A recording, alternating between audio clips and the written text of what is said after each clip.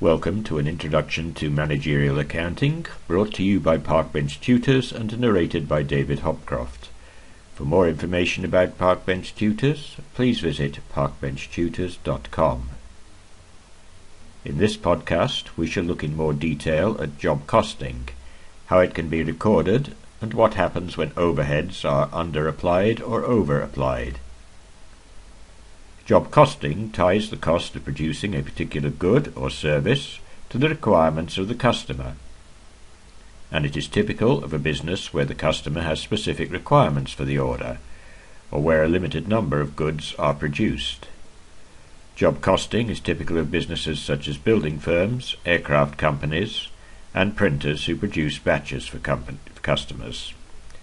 Job costing should be distinguished from process costing, where all items produced are identical, and so costs can be determined as unit costs. Unit costs are obtained by dividing the total production cost by the number of units produced. Job costing means that costs must be assigned to a job. These costs are usually split into three categories direct materials, direct labour, and manufacturing overhead. Together these make up the product costs.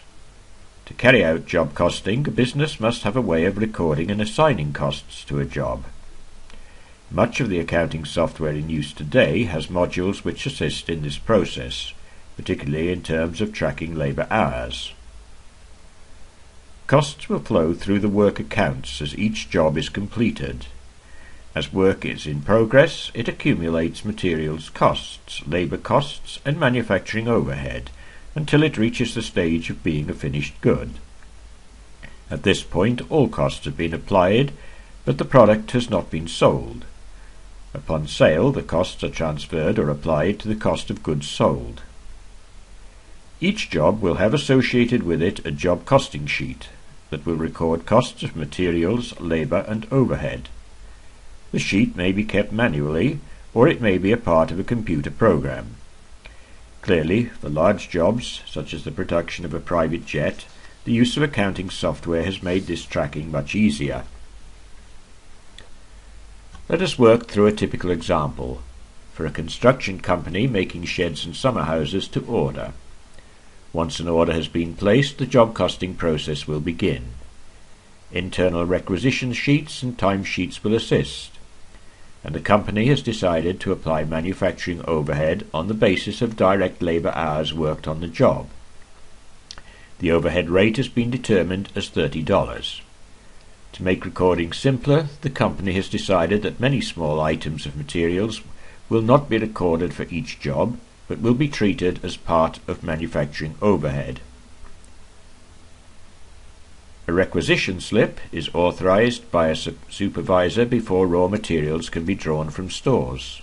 The requisition slip will show the job number or reference, the materials required, date of supplying the materials, and the cost of the materials. In addition to the information being recorded on the job sheet, the supply of raw materials will produce an entry to the accounts. The journal entry has been shown here. The inventory account for work in progress is debited with $1,750 and the inventory account for raw materials has been credited with $1,750. The asset of work in progress has increased and the asset of raw materials has decreased. To record direct labour, a time card is used. Employees will record the time spent on each job separately so that the time card detail, when entered to accounting software, will allocate the cost to the job. The card shows the employee name, the rate of pay, the job number, hours worked, and the total to be charged to the job. The journal entry shows how the information is then entered to the accounts. Work in progress has been debited with $120 since the asset of work in progress has increased.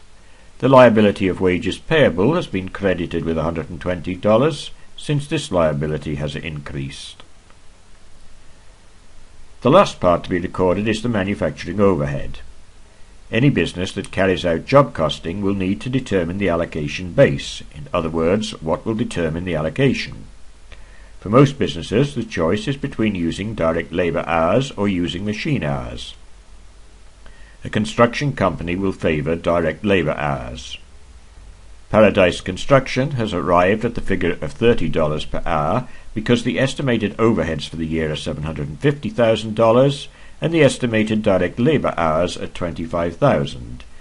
Dividing overhead by hours, we get the figure of $30. The journal entry for the accounts will reflect this overhead for the work done so far. Eight hours of overhead costs are to be applied at $30 per hour, a total of $240. The asset account of work in progress is being increased and the manufacturing overhead account is decreased. At this point, the job costing sheet will now have entries relating to direct materials, direct labour and manufacturing overhead. Materials costs are $1,750, labour costs are $120, and manufacturing overhead of $240 has been applied. We have seen that applying manufacturing overhead will produce a credit to the manufacturing overhead account. Where does the overhead come from? What are the entries that debit the account? The entries that debit the account come from all the activities that make up manufacturing overhead such as depreciation, utility costs, administrative costs, and any other costs. Remember that since the rate of applying overhead for costs is determined before the job commences, it is based upon estimates of costs. Actual costs may be different during a period, and then an adjustment might be necessary. There are three possibilities. The first is that actual and applied overhead are equal and so no adjustment is needed. More typically, an adjustment is needed so that the account will balance and can be closed at the end of the year. If actual costs of overhead exceed the amount that is applied, then we need to apply more overhead. If the actual overhead was less than the amount applied, we still need to adjust the account. The question we must answer is, how is the adjustment to be made? Consider the case where actual is greater than applied and there is a requirement to apply more overhead. If we were being meticulous, we could say that this adjustment needs to be made for every job that has been completed or is still in progress. Managerial accounting does not normally treat the adjustment in this way. If the difference is small, then the adjustment is made by increasing the account of cost of goods sold. Manufacturing overhead will need a small credit to balance the account, and the cost of goods sold is debited by the same amount. If the amount applied is greater than the actual manufacturing overhead incurred, then the adjustment involves a debit to manufacturing overhead and a credit to cost of goods sold. Suppose that the amount we need to adjust is not a small amount. What are the procedures? The usual procedure will be to share or apportion the adjustment between the accounts that are involved. Manufacturing overhead flows through the work in progress account, finished goods account, and cost of goods sold, so the amount should be shared between these accounts. The sharing is determined by taking the balances in the accounts and calculating a figure to use for sharing. In the example, we have an adjustment of $6,000 to be apportioned to work in progress that has a balance of $40,000, finished goods that has a balance of $10,000, and cost of goods sold, which has a balance of $50,000.